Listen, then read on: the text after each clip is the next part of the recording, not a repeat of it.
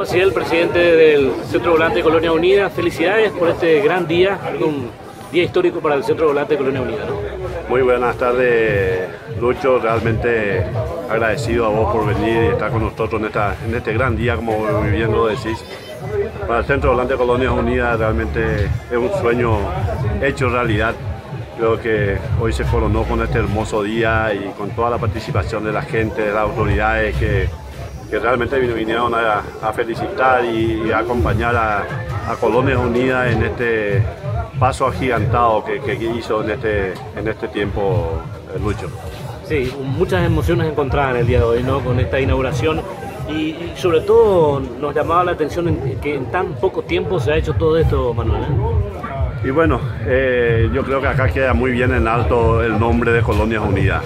por algo se le llama Colonia Unida Hoy entró una familia del centro, eh, la zona de Pirapó, por ejemplo, que tenemos hoy corredores muy buenos y sus autoridades se sumaron a, este, a esta causa y, bueno, eh, acá hay Lucho un sacrificio enorme de demasiada mucha gente que se involucró, que no tiene nada que ver con el automovilismo, que solo quiere un bien por su bella vista, por sus colonias unidas.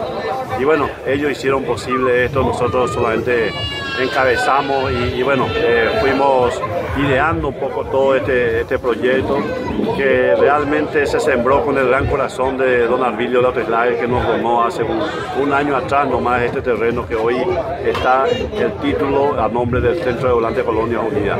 Eh, hoy eh, en el aniversario, 25 aniversario del Centro de Volante Colonia Unida, podemos decir que la casa es, es nuestra, está a nuestro nombre y bueno, nos sentimos orgullosos de que podamos realmente ofrecerle al país, a la Itapúa, a la colonia realmente un autódromo eh, en estas condiciones. Felicidades. Muchas gracias.